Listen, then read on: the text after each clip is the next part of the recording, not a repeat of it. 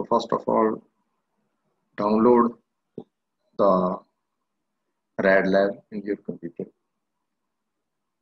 by clicking it start automatically downloading after some time.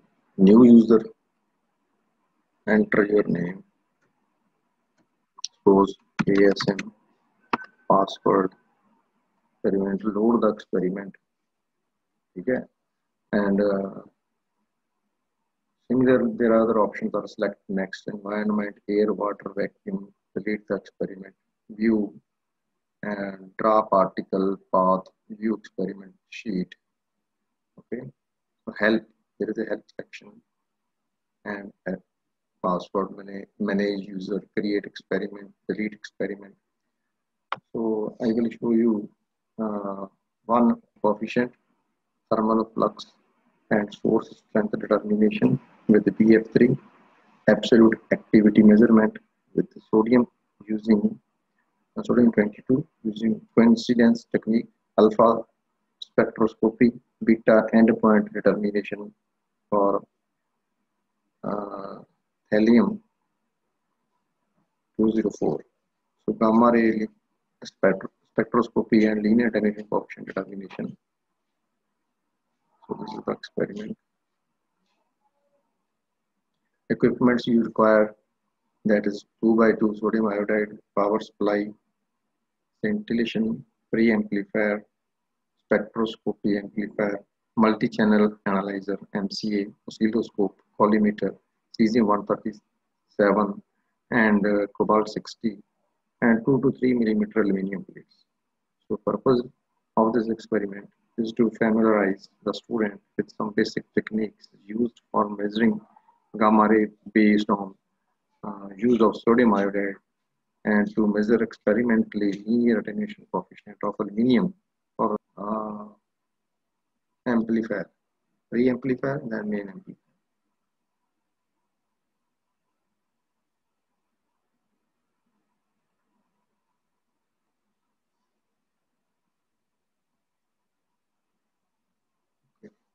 So power supply. So we can remove amplifier. Power supply. And uh,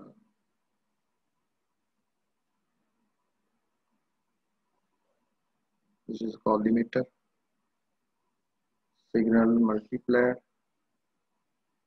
and MCA multi-channel. Okay. As there is a problem faced by you in running this RAD lab for the assignment of this week, thus I decided to share you some tips that how to use this uh, gamma ray uh, spectroscopy apparatus or uh, app so it is a virtual uh, lab of, radiation physics. So there are lots of uh, options in this uh, simulation.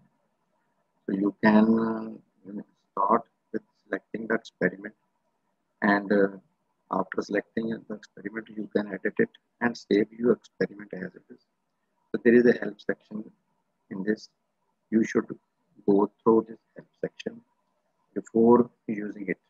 So lots of help and for each topic the help is there. How to use it and uh, how to save the file.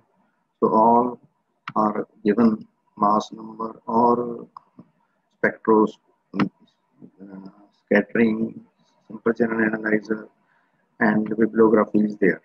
So you must go through before uh, using this app and uh, as far as the assignment is concerned i assigned you to perform uh, the spectroscopy experiment to measure linear attenuation coefficient for aluminium so instrument instrument tab you find there is a sheet which is of aluminium.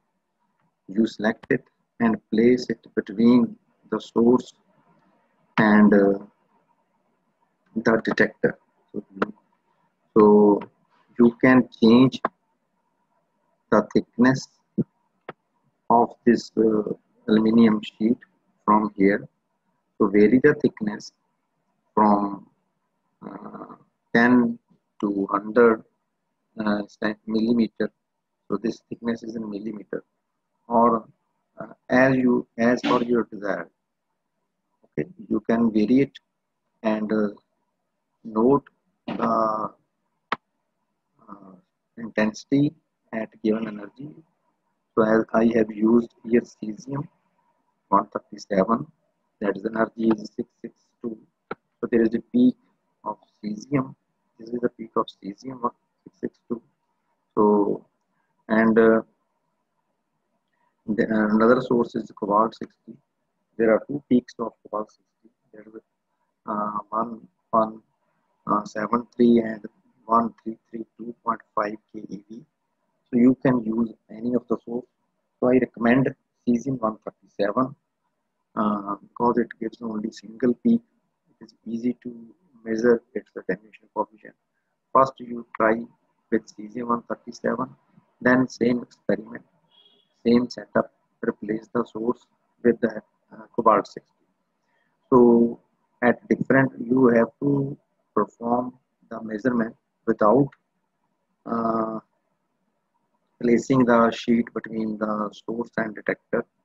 So that gives you the intensity uh, initial intensity or I naught. And then by placing the sheet between the source and the detector uh, it gives you uh, only attenuated intensity and you know the thickness E so from the simple exponential notation I is equal to I naught e raised to power minus mu into t. So from this expression you can calculate linear attenuation coefficient of uh, aluminium. So you must uh, uh, check cross check it from XCOM or the WinXCOM for the aluminum for that energy. For example, cesium 662 keV. Okay, so compare this experimental result with the theoretical result. It's a simple experiment, and the setup is given in the screenshots on the website also. So you can check it from there. So it is very very easy.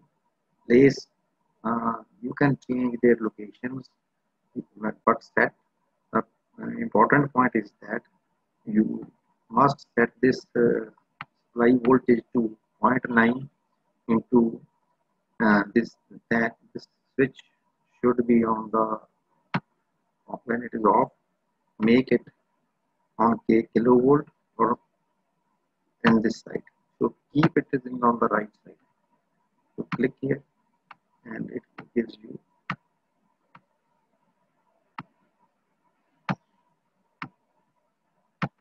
okay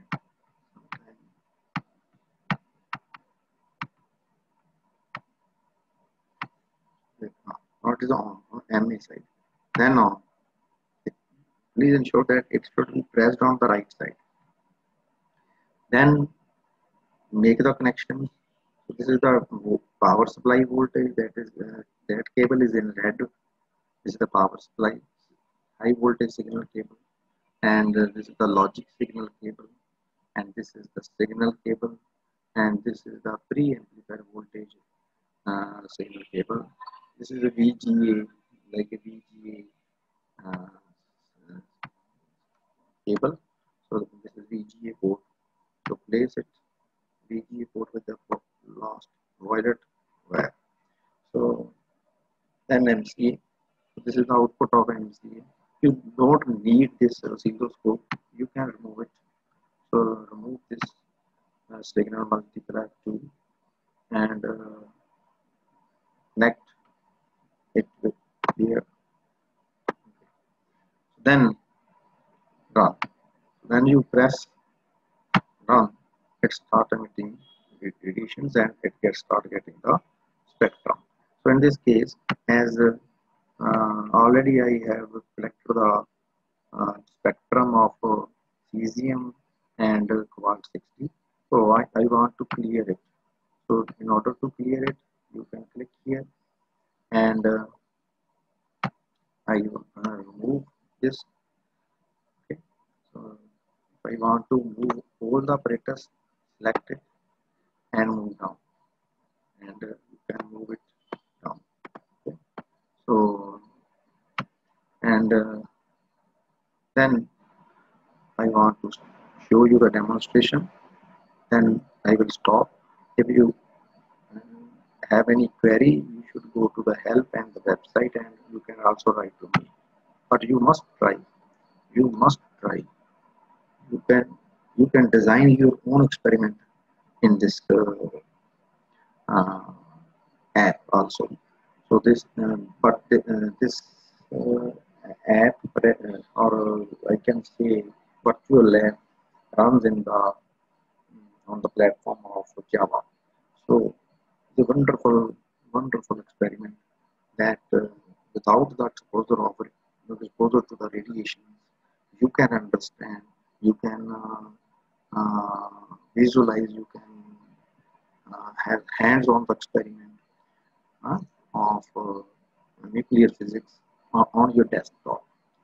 So within within one minute, you see the peaks are forming here. This is the backscattered. This is the backscattered peak.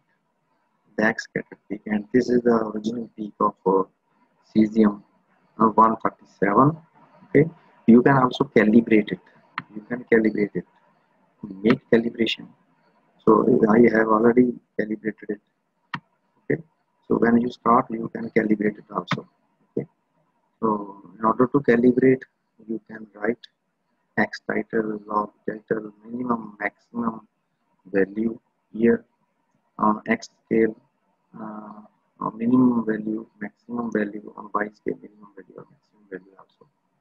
So it is customizable you can customize it as per your convenience. Okay? So see uh, peak of cesium 137 is here. So you have to measure its intensity. So how you measure the intensity? Intensity can be measured by placing this uh, pointer on the peak.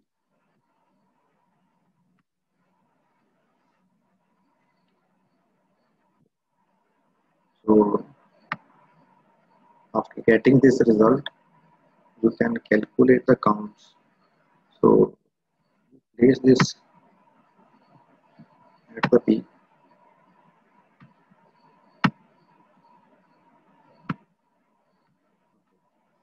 And uh, note the counts.